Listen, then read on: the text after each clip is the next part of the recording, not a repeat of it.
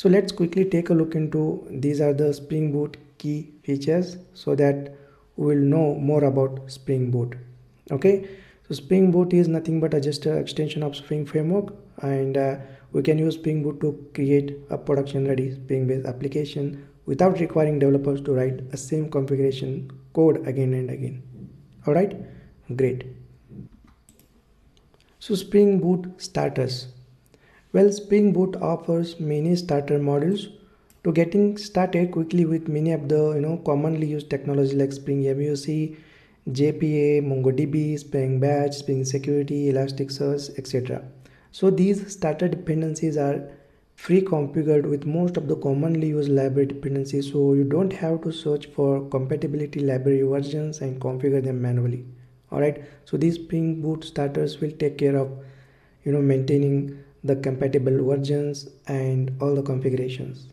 For example spring boot starter data jpa dependency. So this dependency whenever we add in our spring boot application then it will you know it will include all the dependencies required to use spring data jpa along with hibernate library dependencies.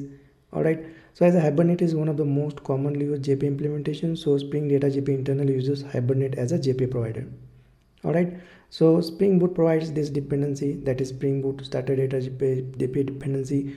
We need to only add this starter dependency. It will internally you know include all the required dependencies to work with spring data jpa okay? So one more example is spring boot starter web dependency. So whenever we add spring boot starter web dependency in our spring boot project it will by default pull all the commonly used libraries while developing spring MVC applications such as spring MVC, web MVC jackson json library validation api and tomcat uh, you know server. All right so spring boot will do a lot of things for us. We know we need to only add the starter dependencies. Okay? So this is about Spring Boot starters. Alright, now let's take a look into Spring Boot auto configuration.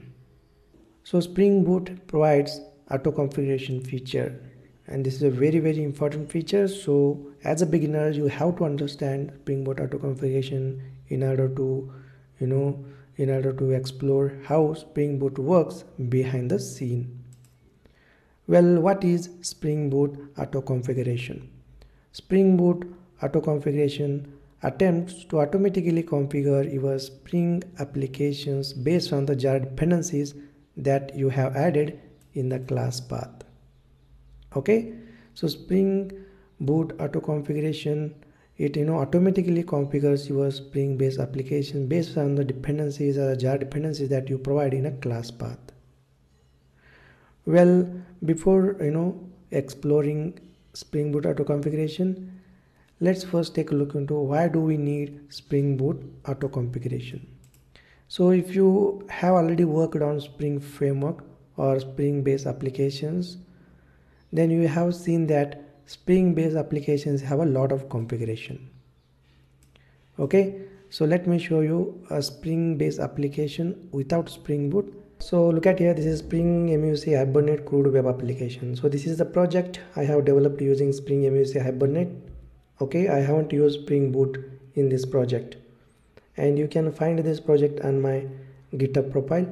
So go to spring MVC tutorial and in this tutorial repository you can find spring MVC hibernate CRUD web application project. Well in typical spring MVC hibernate project we need to configure a lot many things. For example so this is a java based configuration and in application context configuration file you can see a lot of beans created manually for example session factory. If we use hibernate in spring MVC application then we need to configure these three beans that is session factory bean data source bean and then transaction manager bean okay? If we don't use spring boot then we need to configure these three beans if we use hibernate in spring MVC. okay? So this is in all the typical spring MVC applications. Okay these three beans should be configured. So apart from that uh, we are using uh, you know we are using a JSP or Thymeleaf for that we are also need to configure view resolver right? So that I have defined in WebMvc config class. So look at here. In this project I have used JSP so I have configured internal resource view resolver for JSP so this is a typical bin we need to configure when we use uh, you know JSP or Thymeleaf as a view a layer. So apart from that we need to configure dispatcher servlet. So there are different uh, approaches to configure dispatcher servlet like either we can configure dispatcher servlet in web.xml that is deployment descriptor or we can you know configure dispatcher servlet using java based configuration. Okay so just understand like without spring boot we need to configure these bins for spring MVC project. So this is the typical configuration okay? You, you can develop any kind of spring MVC application and if you are using hibernate then you need to configure all these things. When we use spring MVC we need to configure component scan dispatcher servlet, view resolver, WebJars and other things. And let's say if we integrate Hibernate or JP in our Spring MVC application, then we need to configure data source bin, entity manager factory or session factory bin, and transaction manager and other things. So these are the you know typical uh, configuration in all kind of Spring MVC application.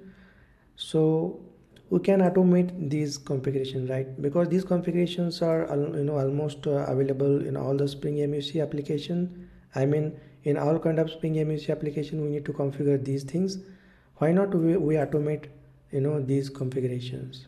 So instead of writing this configuration in all kind of spring MVC application again and again why not we automate these configurations? Well spring boot you know team has uh, you know comes with this new thought process. They have automatically you know configured all these uh, all these configurations. So whenever spring boot finds spring MVC dependency in a class path then spring boot will automatically configure component scan dispatcher servlet view resolver and if we add spring data jpa or hibernate in a you know in a class path then Spring Boot will automatically provide a data source bin, uh, entity manager factory or a session factory bin and transaction manager. Alright, so Spring Boot auto configuration basically you know configures all these configuration for us whenever Spring Boot finds Spring MVC dependency and Hibernate dependency in the class path. So this is the best example for Spring Boot auto configuration. So the next Spring Boot key feature is externalized configuration. So this feature is very very useful whenever you want to deploy your Spring Boot application in different environments. So basically this feature enables developer to work with the same application in different environments. Environments can be a dev environment, QA environment, UAT environment or production environment. Okay, so you can use properties file or YAML file that is YML file to maintain the you know configuration and uh, Spring Boot basically offers different configuration file for different environments okay you can maintain a profiles different different profiles for different different environments all right and you can use annotations like add value annotation and add configure configuration property annotation to read the values from the properties file or YML file into Spring Bean configuration. All right. So this is a very, very useful feature whenever you deploy your same application in different environments. Okay. So the next Spring Boot key feature is Spring Boot Actuator. So this is one of my favorite feature. Okay. So in our Spring Boot application, we configure a lot of details. All right and we need to monitor all these details right so spring boot actuator provides a lot of rest endpoints to you know view the health check uh, and the metrics a lot of things we can you know view by using spring boot actuator so spring boot actuator provides a wide variety of production ready features without requiring developers to write a much code for example we can use spring actuator to view the application bin configuration details we can use Spring, Spring Actuator endpoints to view the application URL mappings, environment details, and configuration parameter values. And we can use Spring Actuator provided REST endpoints to view the registered health check metrics. Okay, so Spring Boot Actuator exposes a lot of REST endpoints to monitor a lot of configuration details environment details url mapping details health metric checks a lot of things. All right so this is a very very cool feature that spring boot provides. Okay? Great. The next spring boot key feature is easy to use embedded servlet container support well this is a very cool feature. We can quickly run our spring boot application in embedded servlet container okay?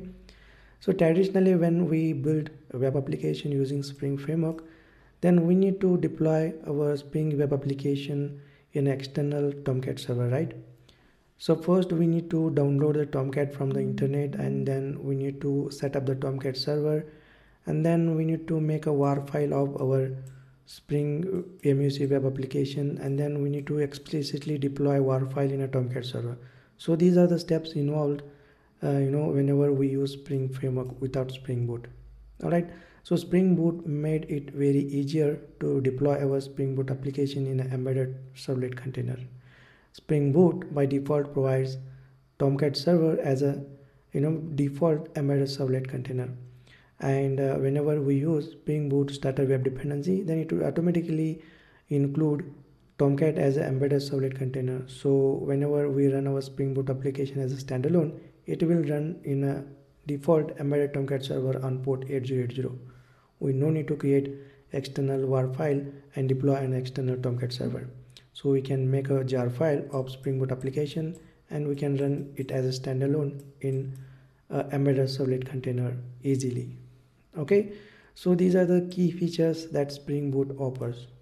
Okay? And uh, we are going to use these key features a lot in this course. So we just had a brief discussion about these features right? And uh, going forward we'll be using these features a lot in our, our in our spring boot tutorial course